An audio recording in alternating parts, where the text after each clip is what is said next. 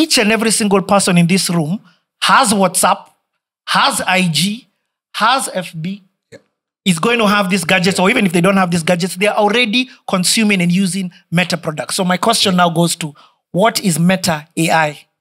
So Meta AI is very similar to ChatGPT. Uh, what it is is it's actually enabled in some African countries. I think Uganda is one of them. Uh, it's gonna come to you guys. And Zambia. And Zambia. it's gonna come to you guys. Uh, but usually you want to test it in a smaller market, then bring it to one of the most active markets in the world. uh, so it's coming. What is different from us is like, for example, ChatGPT 3.0 is free for everyone. ChatGPT 4.0, you pay for it. Uh, I don't know what the rate is. It's about twenty dollars in the states. Same here. Uh, so what Meta AI is is similar to ChatGPT 4.0, but it's free. And when you open your browser at the top, it's going to be Meta AI, so you can ask any question. You also have an interface where you go to metaai.com and you're able to ask it the same questions that you'd ask ChatGPT without having to enter your credentials or information. Just asks you for your age. Uh, sometimes it might ask location or this, some, you know, but you don't have to be a Facebook person. You don't have to be a Meta products person. You can ask it independent of that. So that's sort of like the difference between and the correlation with what you currently have in the marketplace. Okay.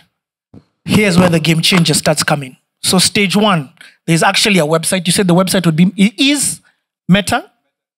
Com. MetaAI.com. Just yes. first check his mic. Just say something. Uh, MetaAI.com. Okay. Yeah. It's um, also uh, when you go to your browser, when you're asking the question, you'll also find it at the top of that. So let's go back to that question. So to log on to Meta yeah.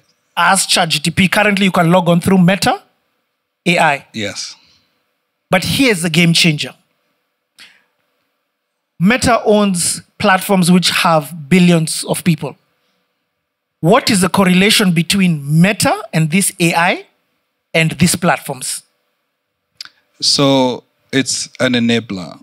Again, going back to when you're posting something, you can ask it to post a better version of the same message. If you're generating something, let's say I want to generate an, an image of us in this room, it can generate that for you. For reels, reels are going to be on fire. You know, you can say, hey, this is what kind of like the video, put it in there. It helps you enable that and makes it a little bit easier for you to format it the right way. Yeah. Alex has said that in such an easy way. But I want us to, to, to, dwell a bit here for you to understand the magnitude and the impact and what this looks like from a usability case. Are you a graphic designer? This is how this thing is going to affect your job.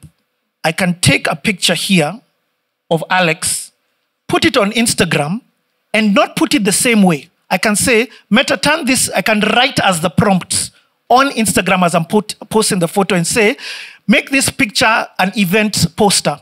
And the details I want on that thing is change his shirt to black.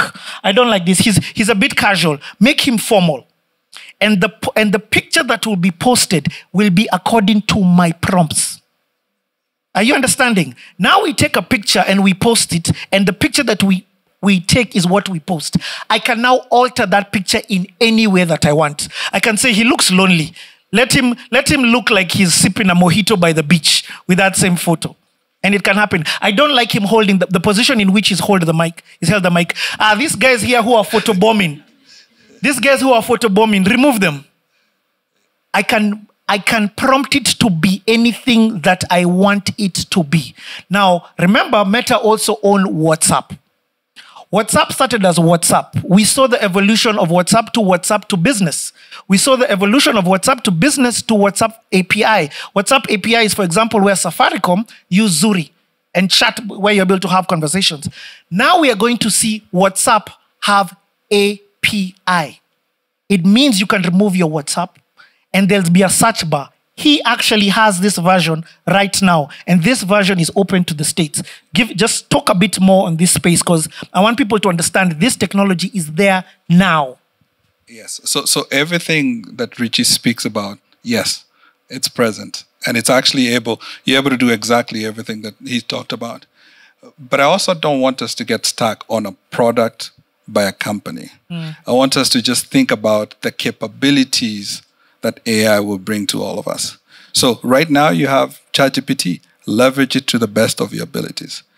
Any other, you know, AI capabilities that you have within your systems, SAP could be one of them. It has an AI component to it. Leverage it to the best of your abilities. You have Embarcadero when you're doing rapid SQL. Leverage it to the best of your abilities to be able to write your code. So I just don't want us to get stuck in that. But to Richie's point, yes, Meta has its products, and they're embedded within the product, uh, whatever we provide Instagram, Facebook, WhatsApp, and 15 other different services that we have. So, do you guys have Facebook dating? No? Okay, it might not be one of them that's enabled here. But at the same time, what I'm saying is that in the background, yes, the tech is enabled to make your life a lot easier. From the mentality perspective, OG, you can check, try out Facebook dating. the connection is going to be on fire. and all the bachelors in the house said, "Ahoo." so I love what he said. Um, I'm using the meta products as an example for you to understand this. But the mentality then needs to be how can I do this faster? How can I, the excuse that I don't have money no longer exists? Because the question that you can then use AI to answer is how do I do this now? Um, there's a product, there's, there's something that I'm subscribed to called there's an AI for that. Because there's an AI for that. So the moment you think about something, there's an AI for that. So what he's talking about are yes, the, it costs a lot of money, but there's people in their houses, 19 and 20 year olds in their rooms, creating products that are going to rival with these guys. Where these guys come in is to snap them out because they have the money to buy.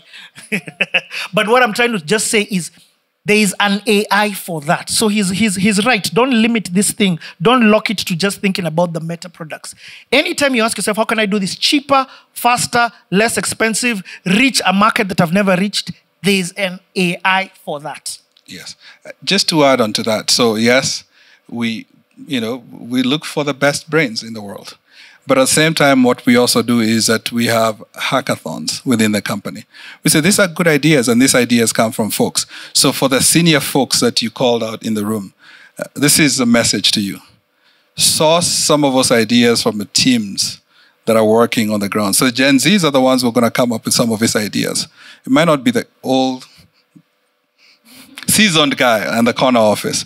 The Gen Zs are the people that you want to curate. You want to be able to enable some of his capabilities within the company ecosystem so that they can be able to use them well. Remember, they grew up with this technology. So the best way that you can is just curate the, the ideas that are coming from them. And this is going to be a game changer. Okay.